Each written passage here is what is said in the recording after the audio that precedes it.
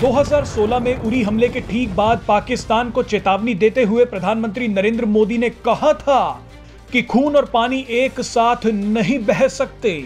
इसके बाद 2019 में पुलवामा हमले के बाद नितिन गडकरी ने भी पाकिस्तान को चेतावनी देते हुए कहा था कि भारत पाकिस्तान में बह रहे अपने हिस्से के पानी को रोक सकता है।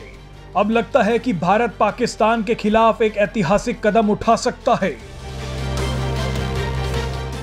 सवाल उठ रहे हैं कि क्या भारत पाकिस्तान की तरफ़ जाने वाला पानी रोक सकता है? भारत पाकिस्तान के साथ 1960 से चली आ रही सिंधु जल संधि, यानी इंडस वाटर ट्रीटी पर बड़ा कदम उठा सकता है। भारत ने कहा है कि पाकिस्तान इंडस वाटर ट्रीटी पर एक तरफा कदम उठा रहा है, जो बिल्कुल भी ठीक नहीं है। इसी के चलते भारत ने पाकिस्तान के खिलाफ पहली बार नोटिस जारी करते हुए 90 दिनों में उससे जवाब मांगा है। अगर पाकिस्तान ने जवाब नहीं दिया तो भारत बड़ा कदम उठाएगा।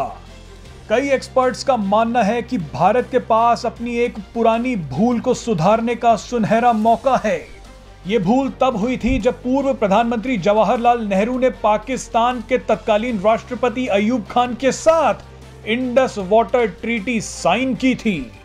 इस वीडियो में आपको बेहद ही आसान भाषा में बताएँगे कि भारत ने पाकिस्तान के खिलाफ क्यों नोटिस जारी किया है और इंडस वाटर ट्रीटी क्या है। आपको बता दें कि विभाजन के बाद भारत और पाकिस्तान के बीच कई विवाद खड़े हुए। उनमें से एक पानी को लेकर भी था। यह विवाद इसलिए था क्योंकि पाकिस्तान में जाने वाली नदियाँ भारत से होकर गुजरती हैं। पाकिस्तान को डर था कि अगर भारत ने कहीं इन नदियों को मोड़ दिया या पानी को रोक दिया तो पूरे पाकिस्तान में सूखा पड़ जाएगा। इसी मुद्दे को सुलझाने के लिए भारत और पाकिस्तान के बीच इंडस वाटर ट्रीटी साइन हुई थी। इस ट्रीटी के तहत छह नदियों के पानी का बंटवारा हुआ था। पूर्वी नदियाँ जिनमें राबी, ब्यास और सतलुज शामिल हैं, इनके पानी पर भारत को पूरा हक दिया गया। तो वहीं तीन पश्चिमी नदियों जिनमें झेलम, चिनाब और सिंधु नदी शामिल हैं, इनके पानी को बिना किसी रुकावट के पाकिस्तान को देना तय हुआ था। इंडस वाटर ट्रीटी में यह भी तय हुआ था कि भारत पश्चिमी नदियों के पानी का भी इस्तेमाल कर सकता है। पाकिस्तान के हिस्से वाली इन तीन पश्चिमी नदियों में करीब 20 प्रतिशत हिस्सा भारत के लिए भी है। इसी नियम के तहत भारत ने झेलम और चिनाब नदी पर दो प्रोजेक्ट्स बनाने शुरू किए।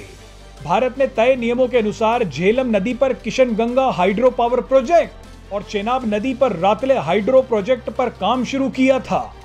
आप सोच रहे होंगे कि जो नदियाँ पाकिस्तान को दी गई थी, उन पर भारत क्यों प्रोजेक्ट बना रहा है?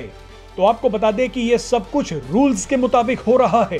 भारत ट्रीटी के तहत पश्चिमी नदियों पर प्रोजेक्ट्स बना सकता है, लेकिन ये projects run of the river projects होने चाहिए, यानी वो प्रोजेक्ट जिनके तहत पानी को रोका नहीं जा सकता। इसीलिए भारत ने चेनाब और झेलम नदी पर जो प्रोजेक्ट्स बनाए, वो रन ऑफ़ द रिवर ही हैं। यानी भारत के इन प्रोजेक्ट्स के बनने के बावजूद पाकिस्तान पर कोई फ़र्क नहीं पड़ेगा।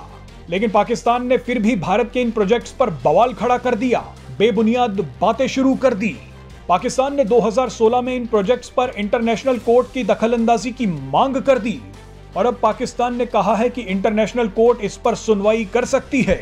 इसी बात से भारत भड़क गया है।